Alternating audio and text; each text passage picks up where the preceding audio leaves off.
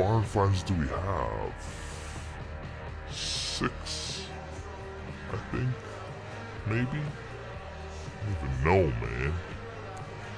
Look at that, I've spent almost an hour in first place. That's pretty cool.